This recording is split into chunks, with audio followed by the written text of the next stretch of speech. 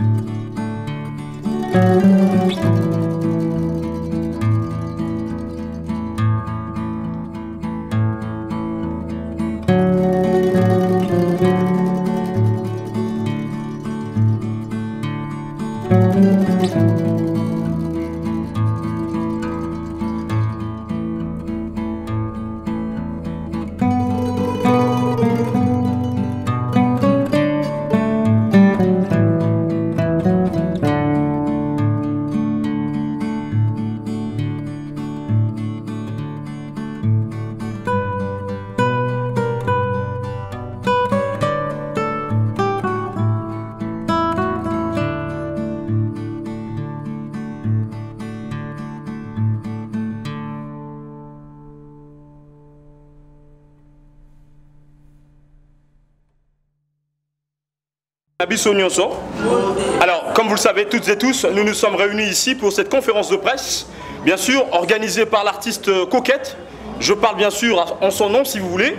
Dans, deux petites secondes, elle sera avec nous pour euh, discuter avec vous, la presse. Merci de répondre à notre invitation. Ça fait un grand plaisir, bien sûr, de voir si nombreux. Vous nous avez suivis de l'autre côté et ici aussi. Alors, un grand merci au nom de l'artiste. Alors, Tozana Sengomakasi, Yagoyambabino Nyonso Presse au boyer pour Pour besoins. éclaircissement et information, nde mosala na bino merci chaîne chaîne nyonso a télévision Isa awa dans deux petites secondes nous un artiste coquette azoya s'il vous plaît Tout monde est coquette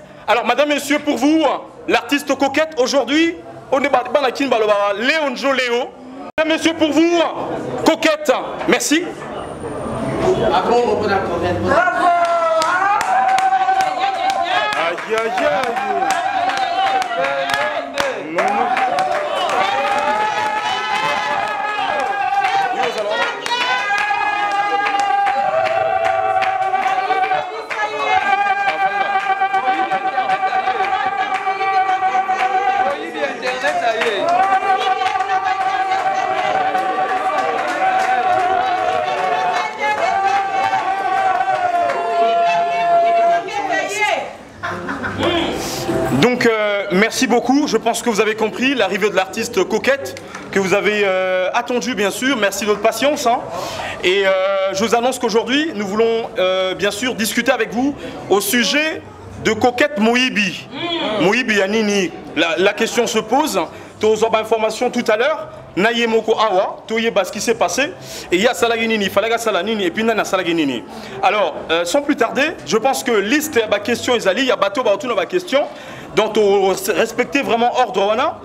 Euh, bato batuna ba question eza bato oyo ka bakotisa déjà bakombo en avance mpo na batuna ba question donc en premier lieu artiste arosela biso explication brièvement par rapport ya sujet yango ya coquette moyibi et du coup toko avancer na euh, série ya ba question réponse merci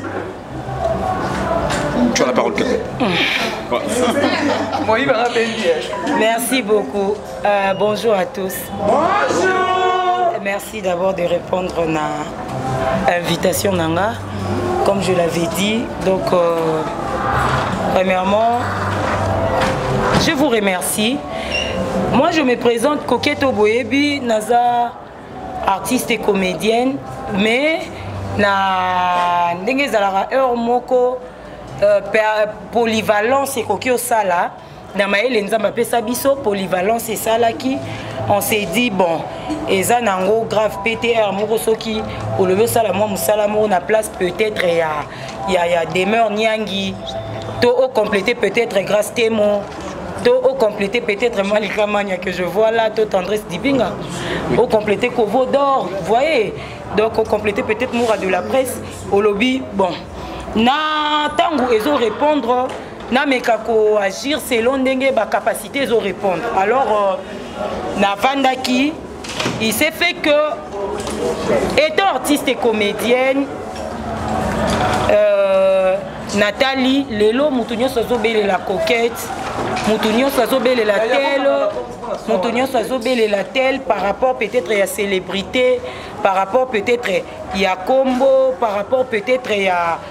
koyebana tokoki koyebana mais après biso eloo nini etikala na nsima kombo oui mais après kombo wana eloo nini etikala na nsima est ce que nos œuvres parlent eza likanisi oyo eyelaki ngai na motu alors euh, je me suis dit en tant qu'artiste et comédienne na mwa ndambu mpe ya talent nde nauti koloba ke nzambe akoki opermettre yo okoma polyvalente osala ata euh, ozala ata mwa chroniqueuse alors euh, je me suis dit natali na analyse na analyse ngai naza fille nasalaka théâtre naza artiste actrice comédienne oyo bato nyonso bayebi je me suis dit nakomeka koétudie parcours lelo na monde na biso ezali soki kokete aza te personne ne verra mes enfants hein. na bamboka mopaya eza ya mosusu tu verras oyo babengaka sasem peut-être oyo babengaka boye lelo ekoki kozala acteur to auteur aza te mais œuvre na ye ezozongisa famille na ye ezolia badroit na ye ezozongisa pour moi c'était nakoki oloba ezalaki voix oyo ekoki koganga kobelela alerte ke e eza mpe na monde ya théâtre na bato oyo bakufa oyo bazalaka baicone oyo lelo baoeuvre na bango fo ezongisa raison pour laquelle nasalaki émission après eux émission après eux oyo bato nyonso batalaka l'émission après eux elobelaka sur bato oyo bakufa batika biso nos célébrités oyo batika biso donc euh, en tout cas émission après eux ekangama te ezali mpo na moto nyonso célébrité nyonso c'est pas seulement mpona bato ya théâtre quand bien même kezalaki plus pratique ya kokutana na bato oyo ya théâtre que ba, ba, bato ya ba, ba, ba, ba, peut-être domaine mosusu alors euh, je me suis dit nabanda no mpa na nga moko nakoki kokomba ndako ya voisin te soki nakombi ndako na nga te parce que j'évolue plus dans les théâtres alors euh, soki lelo nga mpe naza te soki nasali émission après euh, oyo ekosala 15 jours il y aura quelqu'un oyo akoloba nazwa relève wana nasala émission après eux mpo eplaide mpe mpo na makoko oyo lelo atiki biso je ne souhaite pas ma mort bien sûr ouais. après natali nalobi bon nabanda natali j'ai il y a eu des icônes oyo soki lelo totangi nkombo na bango moto nyonso omona enfance na ye euh, na baélément émission na nga ya eu émission moko mpo na papa doudou émission mpo na euh, papa sans souci émission mpo na euh, ya dadi oyo bango nyonso bakufa batika biso mpe à leurs âmes alors euh, ntango nasali émission après eux c'était juste pour réveiller mémoire ya bato qu'on a eu quelqu'un on a eu une icône on a eu tel on a eu tel oyo asala adefenda drapeau oyo na baœuvre na ye apesa conseil oyo akoki ozala oublie facilement te nde nasala émission après eux voilà na émission après eux je me suis dit na yamba ba famille ba proche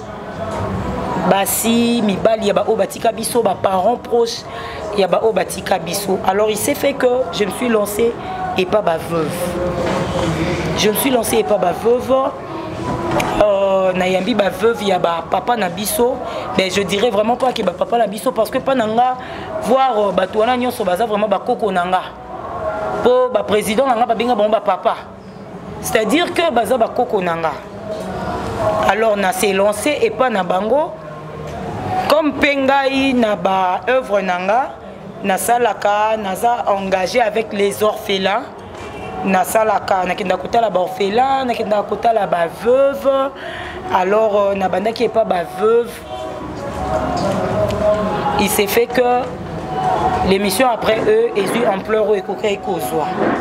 alors pendant que je fais émission après eux na baveuve banuméro nyonso elekaki na baveuve nzambe asungaki euh, baveuve na biso ya émission après eux bazwaki quand même moto akokaki na kokanisa bango to kosunga bango ke je remercie d'ailleurs na kombo ya maman Mélanie Paco maman Mélanie Paco que je remercie vraiment parce que atalaki émission après eux en tout cas ayokaki pasi étant veuve aussi alobi te il faut na sunga pe bandeko nanga ba veuve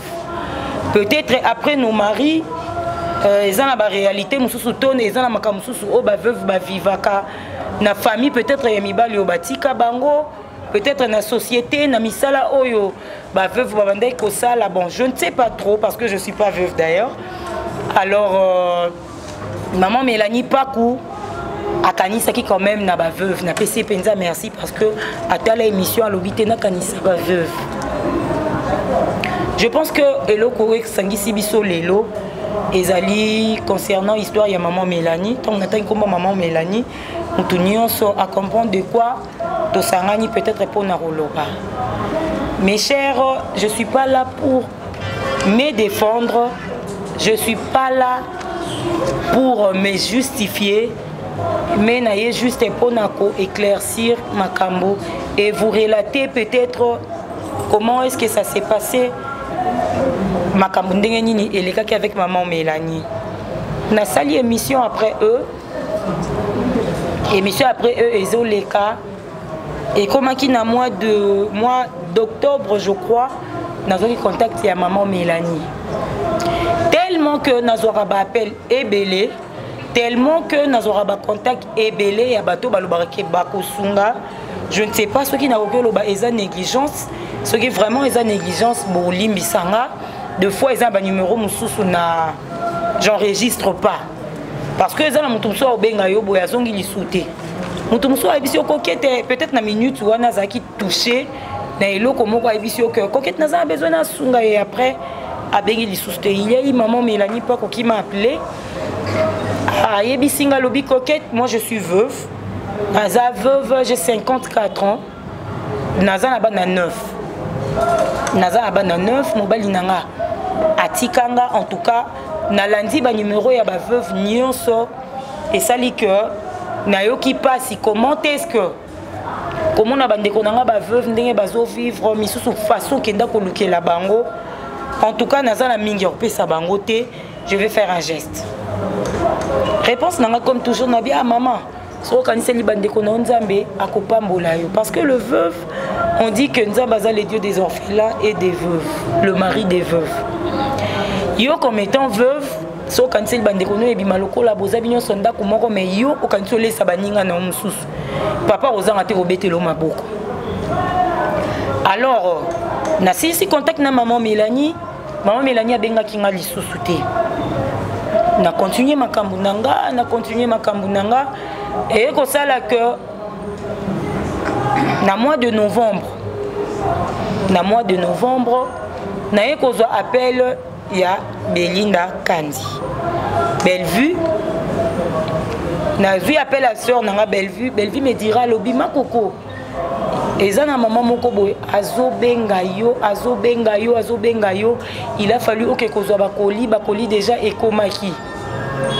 mama wana alobi ke bakoli akotisaki akotisi deux carton ya minene nayebisi ah bellevue en tout cas nazoyeba lisusu te parce que après ça il y a eu euh, baémission mosusu nasalaki il y a eu d'autres maman oyo azalaki soutenu parce que baperdaki bafille na bango baartiste ya eu bato oyo ngai na contacte alors euh, tosololi sololi na bato mosusu balingaki koaide bango nasalisali baoeuvre alors nazoyeba na ngai lisusu te nayebisi eza mpe na bato ebele oyo bazocontacte nga en tout cas je m'en rappelle plus belvi ayebisi ngai alobi te ekoli esi eyaki mama sauf que la dame a dit comme yo ozozwama te na appel nga nake ko récupérer ba colis j'ai dit à la dame non omoni eza mosala bosalaki na coquette botravaillaki na coquette eza euh, entente ya yo na coquette nga nakoki koki ezwa yango te coquette c'est ma soeur après eux eza émission na ye faut travailler makambo émission na ye alors euh, c'est fait que nga lobi non non non non non kandi nga nayebi na nga makambo yango te nazoyeba te la dame doit me contacter après maman mélanie abandi kobenga nga ndenge nayoki que maman mélanie abengi nga trop trop trop il y a eu ce que maman mélanie abengi nga lisusu azwaka nga lisusu ayebisi nga kokete biloko esi ekomaki etou wana ezalaki vers fin novembre en tout cas pour être franche pour être vraiment franche na bandeki kokoka kokóma esika biloko ezalaki te na bandeki kokoka kokóma te j'avais vraiment pas de temps à part kozala vraiment na pas de temps nazali na kilo moko boye nayebi te soki elingaki oloba nini je me disais ah te et puis tellement que alobaki na nga so okomi kaka olobi de la part de maman mélanie ah na okoma kaka nalobi de la part de maman mélanie ndenge nini du coup nazali na mwa kilo oyo tellement que j'étais trop trop trop occupé nalandi makambo na ngai nakei nasali makambo na ngai etout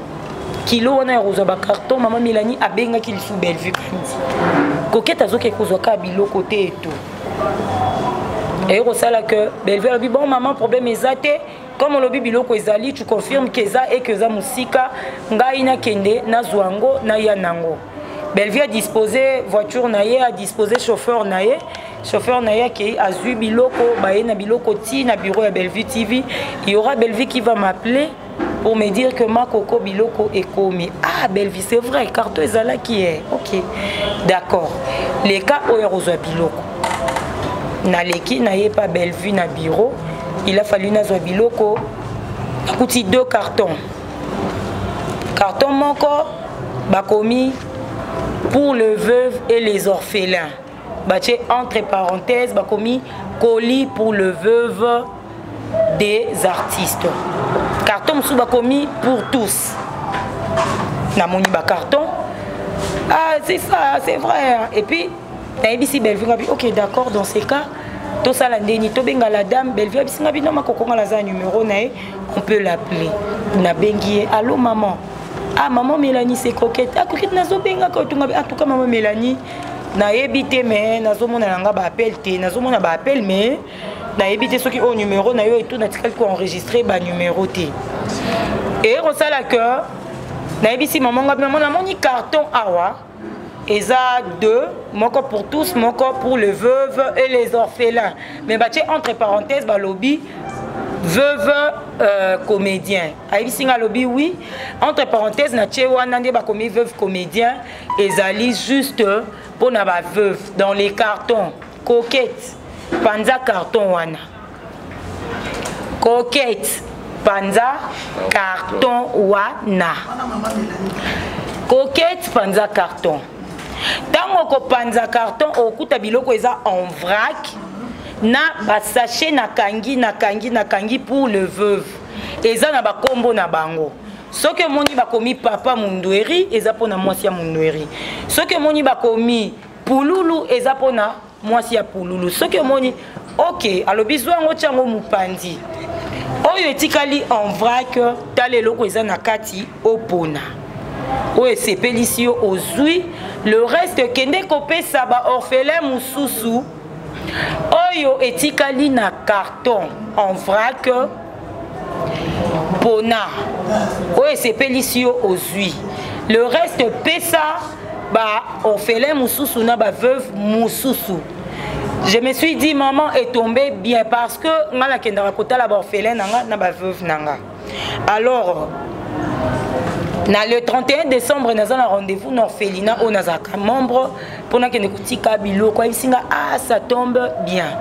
chaque colis pesa veuve na veuve colis selon nkombo na ye ok maman c'est bon mais na kati ya carton na yo mpe bellevue soki akosepela koya kozwa eloko aye azwi na carton mosusu wana na tie pour tous eza artiste nyonso akosepela aye azwi eloko le nom n'était pas cité epa na nga alors je me suis dit ok maman problème eza te tosala ndenge olobi il s'est fait que maman mélanie nazwi carton nake na carton ntango mama melani tosoloni nde makambo ya carton na bureau nga bibo mama na filme carton quand même na filme carton et tout non non non il y a pas de problème ma fille kofilme carton te nabi ok d'accord problème eza te maman ntango nazokabola je peux filmer nakoki kokanga photo et toi bino problème eza nango te coquette nasi nasali mosala na nga c'est bon le reste esala ok merci maman merci beaucoup esili nake na carton vous signalant d'ailleurs que après eux eza émission oyo je me suis dit que na nga comme étant mwana oyo naza richissime te peut-être oyo naza nango naza na nga nango ebele te mais comme étant mwana mwa mokie nazozwa nakoki kokende kolia na bamama oyo bapapa na nga batika alors ntango nazosala émission après eux nalukaka kozala na mwa quelque chose nakoki koservir bamama na nga comme euh, passage epuis na mosala na ngai nasalaka ya kokutana na baveuve na baorphelin nakoki koservir bamama na nga veuve alors euh, nazwi bacarton na pandi nabandi kosepare biloko nazwi chaque colis ya chaque euh, veuve natie à part comme mama alobaki nazwi bilamba na kati ya bilamba en vrac esali que nasepeli na na oyo ngai namonaki oyo esepelisaki nga parmi bilamba oyo ngai namonaki namoni une robe rouge une robe chemise ya rouge j'ai vu aussi une robe chemise nde tobengaka yango orange eza marqué vl non non c'est pas du valentino mais eza vl bakomi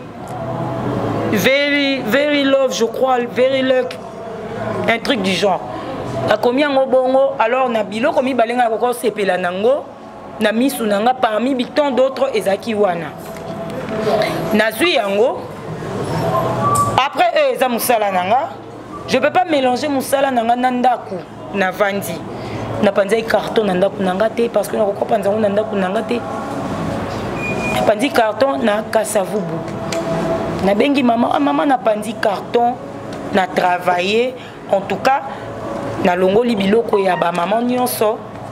bilamba oyo etikali mama na bilamba en vrai kolobai na ngai napona naponi namoni robe moko robe chemise moko ya orange na robe moko ya rouge en tout cas biloko naponi yango wana nayebi ke parmi biso ya tant d'autres qui sont des artistes lelo ovanda babengi yo ah 1 kilo moko eza awa 10 kilo moko eza awa ou en tant que bato ndenge toza boye soki baoffrir yo cadeau en tout cas olingi olakisa motu wana ke cadeau no na considere yango c'est ce que je fais maman melanie atindeli nga elamba nakozwa elamba nalati je vais me présenter mpo mama amonaki mwana na nga aconsidere eloko maman apesi ye c'est ce qui s'est passé avec moi donc nazwi elamba nalati nasali nango tournage et lelo toza baacteur toyebi makambo nini elekaka lelo na monde na biso soki oza na elamba te en tout cas msu pour apparaître ezalaka difficile ezalaka vraiment difficile yebisanga lelo elamba moko ekoteli yo ya sika ovandi ozotala yango pendant 5 jours pendant ke bazobengo tournage à chaque jour soko olata yango te mpo na nga namoni mama akanisi mwana na ye abakiseli ngai eloko moko ya plus na kati ya bilamba na ngai wi nalataki nalati vraiment en tout cas nalobi mama fo amona ndenge mwana kosape capacité ya maman mes chers batalaka yango te mama so aza capable ya kopesa yo lipa ata lipa ne ya 100 franc li yango j'avais pas besoin nazala namona e eh, mama apesi ngai elamba ya 5 euros ah ye mta na france mpo ani apesa ngai ya 1000 euro te bonsoki mama azwaki nde kaka ya 5 euro je me suis dit mama bapesa ngai bilamba nazwi elamba na ngai nalati nayebi ke soki naleki na tournage mama kosepela koloba mwana na ngai alati elamba mama apesaki ye voilà c'est tout ce que je fais après il a fallu que na Ouais, on a fonction. Il a fallu que na kabola biloko ya ba veuve. Mhm. Na ye kozwa carton, appel ya carton ezwaki nga epa ndeko na ngai ezwaki nga na novembre. Nazo ah. na ye kozwa carton na mois de décembre. C'était vers la fin. Mois de décembre vers la fin, on est tous comédiens bon on n'est pas tous comédiens mais bacomédien baza wa ou bien toza biso so bato tosalaka mosala na bafestivité soki oza patron na yo moko tu te dis na mipesi repos soki osalaka mpa motu bakopesa yo repos je me suis dit bon nazwa un peu de repos je vais répondre na début de l'année nazalaki na activité moko remettre pardon na nga na orphelina epuis koke komona baveuve mosusu nakaboli biloko ntango nafongoli karton namoni biloko ya motu na motu na motu nabengi baveuve mama na nga ah, alo bamama eza na mama moko akanisi bino aza ndeko na bino veuve akanisi bino atindeli bino koli eza na maboko na nga boza na pake motu na motu aza na pake na ye awa baza bamama na nga nasalaka na bango émission après eux mais nakutana na bango hors caméra nasalaka na bango émission après eux il y a d'autres nabengaka bango mes copines nasalaka na bango émission après eux mais il y a d'autres nasololaka na bango eza entre mwana na bamama na ye alors euh, nabengi bango je me suis dit bon ekozala kitoko mpo na nga carton nani ekomi après noel nazwi carton après noël ekomaki déjà banda kala me nazwi yango après noël nalobi ekozala kitoko mpo na ngai navanda na bamama na ngai qu'on se retrouve encore tosala neti échange de vœux et puis na remettre bango bakoli na bango mama melani atindaki wana ezalaki lokola mpo na ngai namoni yango échange de vœux puis fete avec bamama nouvelle année et puis voilà deka nasalaka na bango tokoki kokutana na kuzu babiloko moko bongo alors nabengaki bamaman ntango ide wana eye nabengi maman mélanie nayebisi ngai alobi maman naketala baorphelin na ngai na fin de l'année natali baveuve na ngai alors nasepeli baveuve na ngai ya après eux ba veuve ya ba artiste na vanda na bango tosala échange de vœux je veux en profiter comme eye na compte ya après eux je vais en profiter je vais en profiter mpo na Ocha ba vibreur ko wasta bino.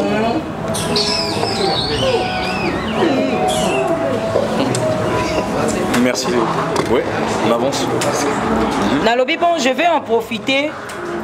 mpo na solola na bango toseka tomonani te tout alors euh, nakomi kosola bamama toseki na compte ya rencontre wana je vais quand même kopesa bango bakado na bango esalaka échange de vue et comme toza na bachaîne youtube comme paye na compte après eux ekosala bien okende na compte après eux partenaire mwa amonani aservir bamaman tofete ensemble tokotisi yango na chaîne youtube ah ma fille c'est une bonne idée ngabi ok maman ovote ovote oadopte ok c'est bon je vais les faire comme ça il s'est fait que euh,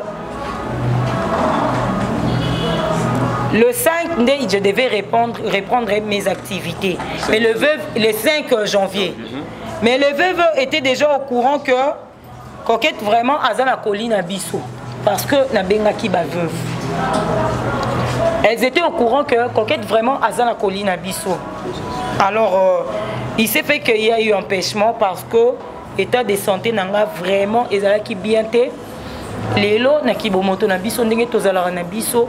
atosali mwa fièvre mo olobi te comme mwa nzoto ya makasi nake nanga tournage atosali mwa fièvre mo olobi te nameli nange eloko moko ekokokitisa nga fièvre nake boye nasali boye c'est ce que je fais alors euh, je me suis dit makasi eza nanu nameka nakei j'ai répondu na activité ya ba orphelin ya d'autres veuves et puis voilà nabengi ba veuve mosusu il s'est fait que le 5 j'ai repris makambo mosusu nazalaki nango temps mpenza epesaki nga te epermetaki vraiment te que na remettre ba veuve biloko na bango alors nabengi ba veuve j'ai commencé d'abord par appeler maman mélanie allo maman j'ai repris mes activités allo maman toza na makambo ebela kosala en tout cas j'ai compris que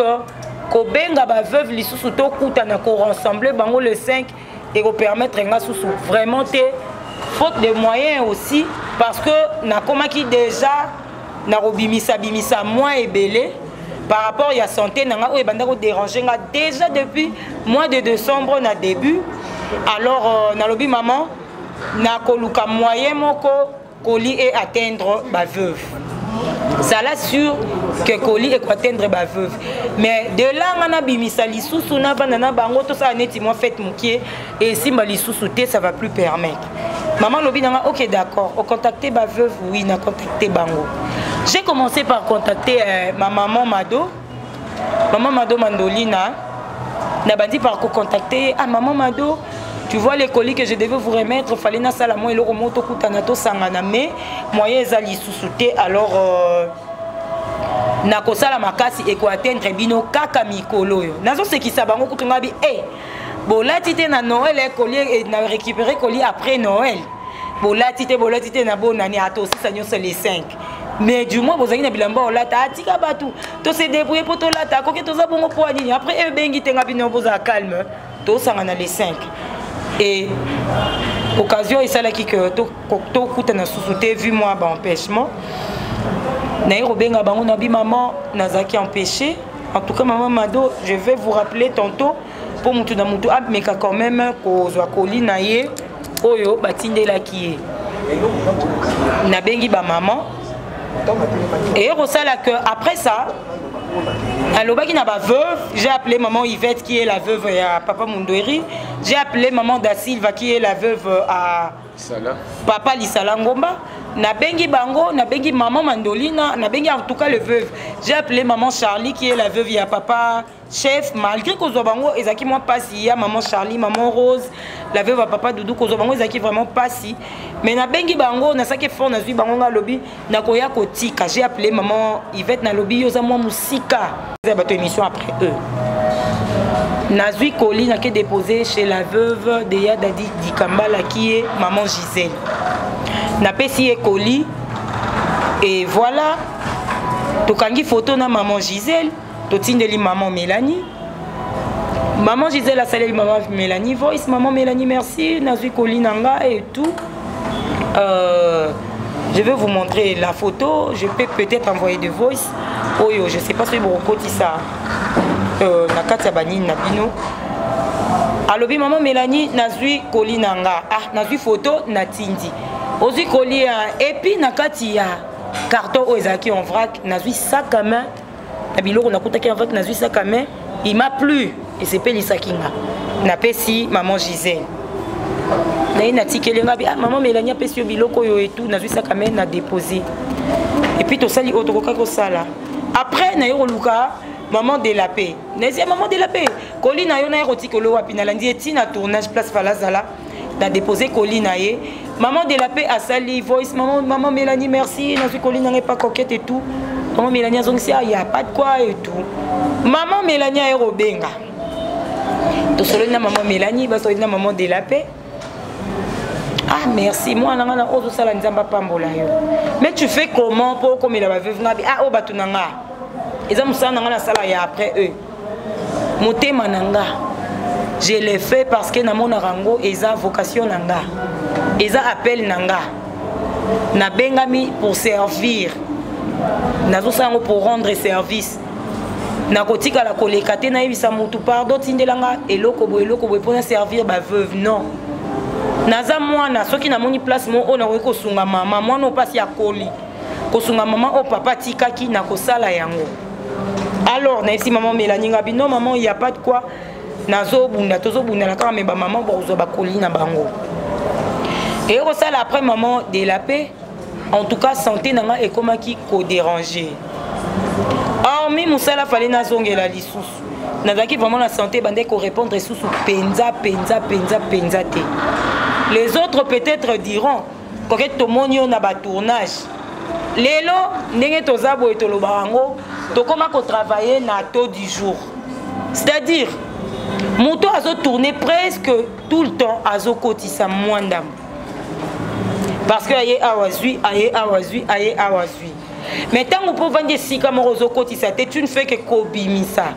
na bahopitaux na biso ya lelo ntango ozoluka ozala moto ozala en très bon état de santé en tout cas tu dois payer les prix naza maladie donc euh, ntango euh, santé répondre mwa ndambo ti nde naosolola na bino boye je suis encore malade ndenge ezalaka kobandi korépondre de force je me suis dit il y a un vent naza na bato oyo batalaka nga naza na bandeko naza mwana oyo aza na bamama aza na famille alors euh, mpo na kokitisa mitema to koéclaircir baoyo balandaka nga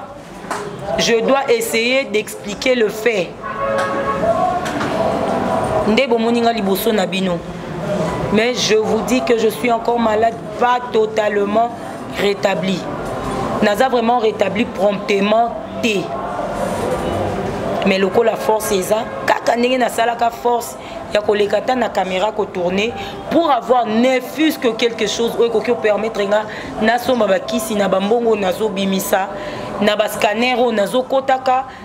na ba hôpitaux nazo kende leka zonga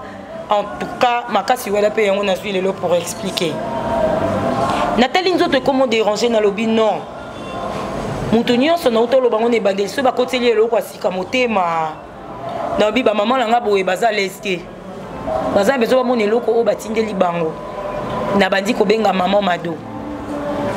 ah mandolina parce que tobengaki mandolina mandolina en tout cas naza susu na moyen ya koya kotika bakoli te wana eloko wana ezosalama na mois de janvier moyen naye kotika vraiment biloko eza lisusu te parce que naza na makambo ebele ya kosala maladi ngai naza nango je peux pas montrer à tout le monde que nazobela boye nazosala boye nazozongisa boye yora tel oyo akondima ngai yora tel oyo akondima te mais nakoki ko expose etat de santé na nga mpa motu nyonso te mama naza maladi en tout cas naza bien te temps ezo empêche te ezo permettre te plutôt excusez moi est ce qu'il y a moyen motu na motu azwa biloko na ye koketi biloko eza wapi ngabi te biloko eza na kasavubu na venu luozi nakozwa yango facilement ngabi mama okozwa yango facilement ata naza te il suffit obenga nga kokete nakezwa biloko nakosala signe kuna ozwa biloko na yo nazwa mokoninga mama ta sikoyo babenganga kaka mwa mon problème ezaka nazwa preuve ke mutu tel azwi koli na ye en tout cas nasali effort nabengi baveuve mosusu nayebisi bango likambo wana ok d'accord tokoleka natye nzambe na nga témoin veuve aleka lisu te nazo appel ya veuve te après il y a eu maman mélanie maman mélanie abengi nga mais kokete ça se passe comment avec le veuve ngabi en tout cas maman nazeli baveuve namoni bango babengi nga te mais active to ameka kobenga bango abi ok maman nazobenga bango nabandeli kobenga baveuve akokete ngabi maman eza na kasavubu bokende bo récupérer biloko nga ekopermettre nga lisusu te mais dans l'autre temps soki esengi nakende place moko ou deux je peux tourner na semaine na tourne deux fois et puis je reste à la maison naza na bandeko bakomaka naza na bandeko baprogramme nga na tournage après les 5 en tout cas nalongolaki ya tournage ya motu nyonso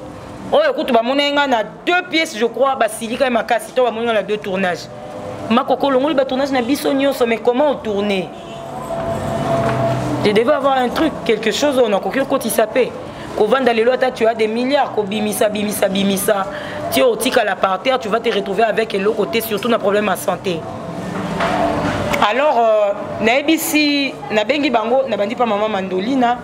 mama tala boya kozwa biloko na bino koke tokoleka olobaki kasavubu kasavubu tala tala tala bokende moment nyonso bokende temps nyonso bokende mais ngai nazwa kaka preuve ke bozwi biloko bakobenga ngai na opermetre bango bakopesa bino biloko d'accord soki naleki te na otinda mwana j'ai appelé maman yvette la veuve maman ya papa mundori maman yvette abi coquette en tout cas je suis loin nayebi ke yo jour nyonso kozwaka temps oyo oti kelama nabengi baveuve mosusu koke tokoleka tokoleka tokoleka bamama bato basi bakoli je peux pas koloba ke bamama bato basalaki soki ndeni peut-être mama nzoto mpe ekoki odérange soki nga kutu jeune edérange ya mosusu bazwaki ntango leka te après j'ai reçu l'appel de mama mado après temps moko mama mado abengi ngai bisinga coquete babengi ngai mpa mama moko aza na poto alobi atindeli nga biloko epa na yo nake kozwa nga bime mama mado kaka mama wana oyo atindeli biloko biloko ya sika eza te kaka mama wana atindaki biloko biloko yango yango kaka eza oyo ifo ya orecupere kaka yango nga biwi mama kaka yango ah dans ce cas nakoya kozwa ok d'accord problème te nakomi kozwa bapela baveuve mosusu koki tfale toya kozwa biloko koki ngabi te kaka biloko ah kaka wana me bokoya kozwa mokoni on va passer tokoya kozwa maman melania yo obenga nga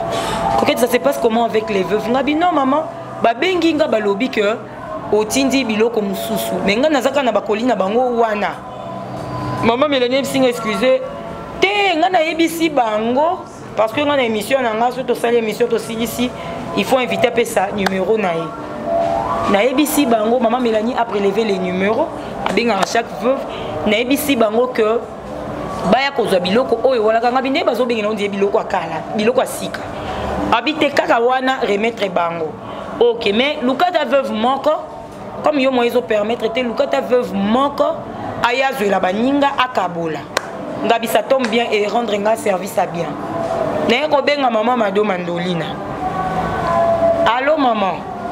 tala tala tala tala venez récupérer mais Oh, mama melani wi ayebisaki ngai naya kozwa ngai bi ok ya kozwa yango okabolela baninga eza problème te comme bozalaka na réunion na bino ok d'accord si ya pas moyen na otinda mwana oyo ozwa navandi nazeli batinda mwana namoni te en tout cas place nyonso natinda ye bango place oyo natinda ye bango korécupérer biloko namoni appel moko te babengi nga ke mare ne eza boye bato baye korécupérer biloko etu namoni te après il y aura maman mélanie qui va m'appeler mpo na koyebisa nga ke non kokete nga naza veuve oza mwana nayebi yo te mwana na nga liboso bokoki ozala age moko ko nyonso pardon yaya nayebisi ye nga alobi mama melanie biloko wana eza na carton te parce que olobaki na nga pasola carton kabola zwa biloko ya baveuve tia apart na moto akoya korécupérer et puis le reste pesa baorphelin mosusu na baveuve mosusu c'est ce que je fais place mpe nakaboli biloko napanzi carton eza ndako ya bato nakokotika carton wana te mais le reste des affaires à part barobo ngai nasepelai nango le reste des affaires napesi déjà na orphelina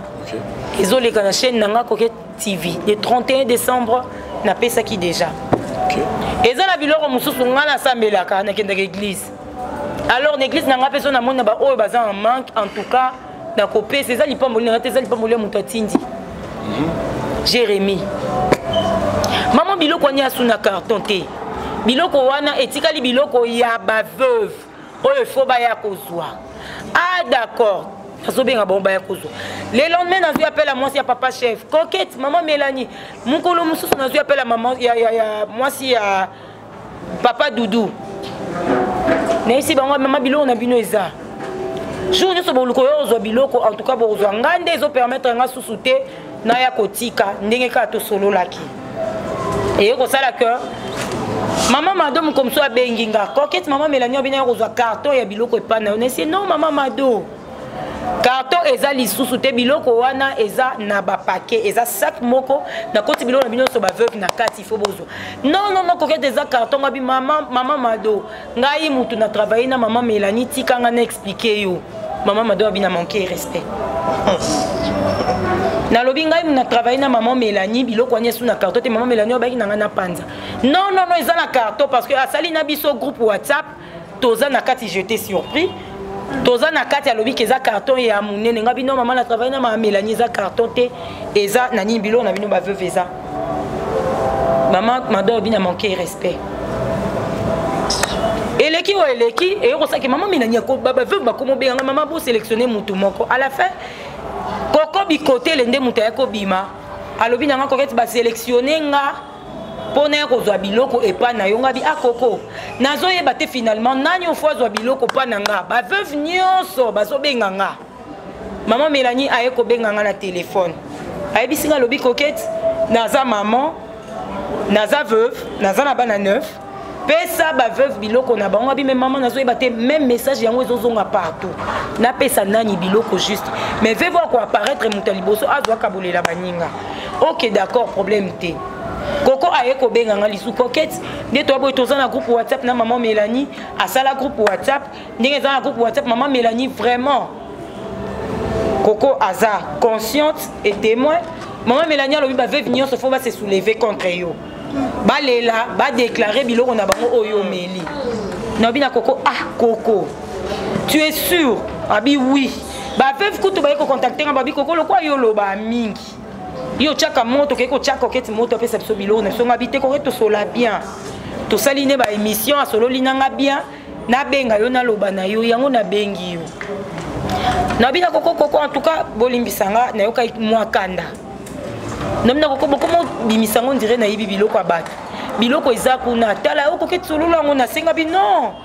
biloko ezali koko yaka lobi ya orécupere biloko koketi na oya lobi pase nga adresse nazwi adresse natindeli koko nazwi adresse na renouvela adresse kutu pa ya maman mandolina pendant que napesa déjà maman mélanie adresse susu maman mélanie aye kobenga nga ayebisi maman mélanie maman oza maman nga naza mwana est ce que otindi baveuve bazwa biloko bazwi biloko na bango bayebisi yo ke eza te bayaki epai na nga kozwa biloko balobi noki eza te est ce que makambo olobaki na ngai nasala nasali te pourquoi koko permettre bamama wana basesouleve contre nga eske ngai nalobaki na ozwa biloko ya baveuve olata ngai bino mama eske bayi kozwa biloko na bango eza te oyo olobai na ngai nasala yango nasali na panzi carton et tout na, na audio eza enregistrement na panzi carton il fallait na enregistrer parce que nakomaki kose sentir déjà ekomi makambo mosusu nayebisi ye ngai alobi mama nasalaki ndenge oloba ah excuse nga mwana nga parti wana nde j'ai pas compris ok ok nabi nasi napesaki adresse epai ya mama eh, mandolina aleka baya kozwa biloko koko aye kobenga nga na ntongo koketi pesanga adresse nga me koko nasi nakomeli yo adresse okende oke récupérer biloko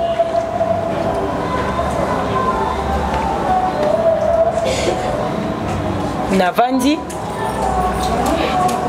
bon euh, je suis passé devant vous juste pour vous dire que biloko ya veuve moko te na simba parce que ezalaki biloko na nga te eza na eloko ya veuve moko te na nsima ndenge ya ndenge ezala soki peut-être maman mélanie akokaki koconfondre entre biloko alobaki na ngai napona naponaki wana peut-être ya na oyo akotisaki na, na sachet ya veuve moko je ne sais pas me ngai nazwaki oyo nakokaki kozwa donc au reste ouais. euh, naza mutu naza mutu oyo lelo naza touché je suis taxé de voleuse je suis taxé de angualima je suis taxé na moment oyo ti lelo je suis taxé de nyonso oyo nakoki ozala taxé pendant que eloko wana je travaille avec bato ebele oyo moko te atikali kobima lela kekokete azwaki eloko ya motu boye eza na bato mosusu à travers émission na nga bafuteli bamama mosusu bandako basololi na bamama bamama babeti maboko basengi bamerci lelo naye koyiba elamba naza mama na nsima na ngai naza na bana oyo baza baorphelin oyo baza moins de 30 te baza plus na nsima na ngai naza na groupe bana na ngai babengaka ngai maman na ndako na ngai j'ai des responsabilités naza mwana oyo naza na bamama oyo bakoki kozala touche lokola mama oyo azotala nga akoki olala alamuki na ntongo bapiblie mwana ne moyibi naza na belle famille oyo bakoki otala lobi to lobi okuna on a choisi cette femme pour éduquer nos enfants nalembi kobota te nakobota YouTube oyo eza na biso eternité à moins que Mundela change jeu. Il y aura mes enfants et mes petits enfants au Barotala Baomona. Un jour on a taxé notre mémé de voleuse. On a montré nous appeler un conseil dans les conférences de presse à Limbisanga parce que je devais éclaircir. Je devais éclaircir. Okay. mpona motu nyonso atalaka nga oyo azwa exemple epa na nga oyo akonsidere nga oyo akonsideraka nga oyo motema ni etutisamaki na makambo oyo alimbisa toza kaka bato alimbisa peut-être qu'il pouvait y avoir un malentendu mpo na retard oyo nga koketi nakokaki kobimisa kopesa bamama biloko bolimbisa me nakoki te na éducation na nga yanga te nasimbaka te pour mes enfants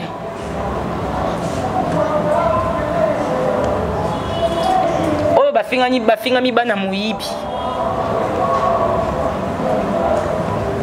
pardonnez-moi à tous mes collègues oyo na nsima na ngai babengi bino moyibi babi bino nyonso boza bamiyibi bolimbisa bana na ngai groupe bamama na nga oyo bafingi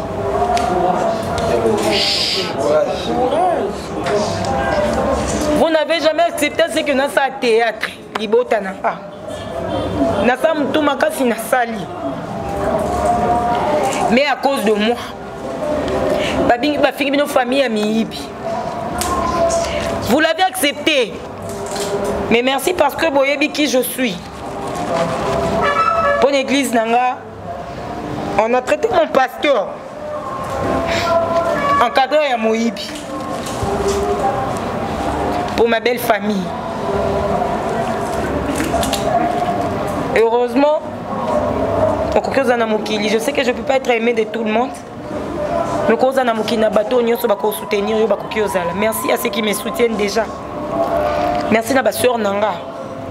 qui m'ont soutenu babundi beke ongo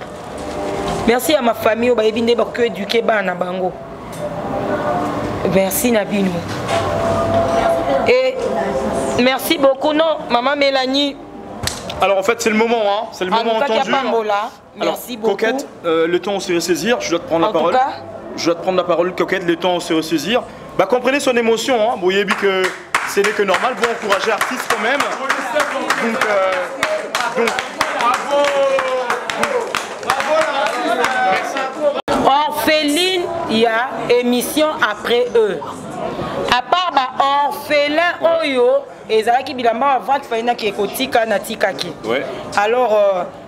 J'ai remis bilamba ya maman Gisèle Dikambala na de la paix il y avait 9, 9 euh, euh, petits colis en fait et tika lokola 7 d'accord merci tobandi ya liboso alors toyokana alors là oyo eza colis ya papa chafo balusa ok tu peux t'asseoir tu peux t'asseoir tu peux t'asseoir ndeko asunga biso toyokana